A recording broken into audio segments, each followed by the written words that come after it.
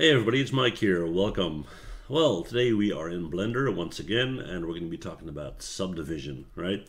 Now, uh, in order to explain what subdivision is, uh, I think the best way is to just show you, right? And there are multiple methods in uh, Blender, and they're not all the same either. So, uh, yeah, I'll, I'll explain. Okay, so we got a cube right here, okay? Now, if you go to edit mode, then you'll see that we have six faces on this cube. We got top, we got and one face, yeah, we got top, we got bottom, and four sides. So six faces, yeah. Now, if I want to deform uh, this top face, for example, um, I can basically scale it, move it, rotate it, but the shape itself doesn't really change, right? Now, if I wanted to do that, I would have to subdivide.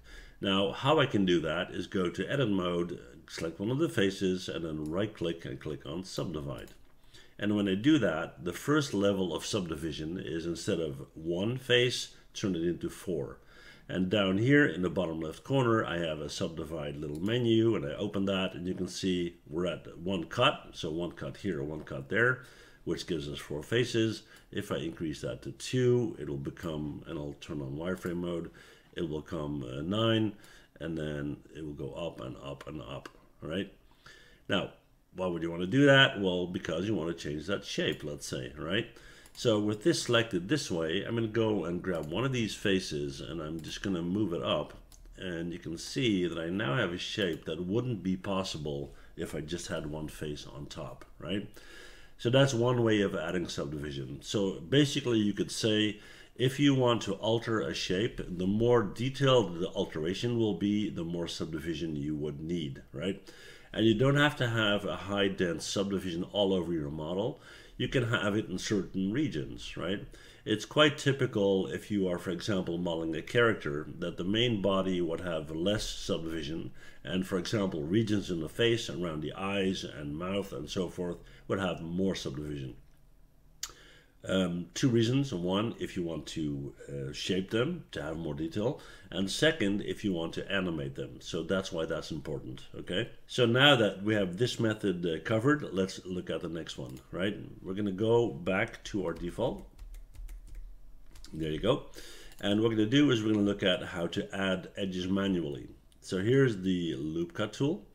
And when you click on that, you can go in here and it will snap to the center, as you can see, right? And what you're going to do is you can actually turn that on, uh, but it doesn't really matter. You can click and it will place one right there. Now let's say you don't want one in the middle, right? You click and hold and then you drag it. And you can see it's jumping in little steps. That's because that snap is on. And if I turn that off and I do it again and I hold it, now I can move it smoothly, right? So this is a manual way to add subdivision. Now, one thing to note though is when you add subdivision to this cube, it doesn't really change the overall shape of the cube itself. Now, there's another method in Blender, uh, which is a subdivision modifier, which will actually do that. Okay, so the modifier. Well, how does that work? Well, right now we don't have any additional subdivision. We have um, zero levels, if you will. What we're going to do is we're going to make sure it's selected in object mode. We're going to go to the little tool wrench right here. And we're going to click on add modifier, go to generate, and then click on subdivision surface. As we do that, you'll see that it will change, right? And if I just jump to, let's say, this view right here, and I go to edit mode, and take my grease pencil, I can show you, right? So initially you had a situation where it was going from here to here to here, as you can see in the orange cube, right? So basically this and this. If there were no vertex here at all, it would be going something like this. And since we added a subdivision, there's now a difference between this position and this position. And if you average that out, it's going to be about here. So this is the new point for that subdivision. If we round it out again, right, adding a new subdivision, the point will probably be here, and it'll be one, two, three, and four. You get the idea, okay? At least I hope so.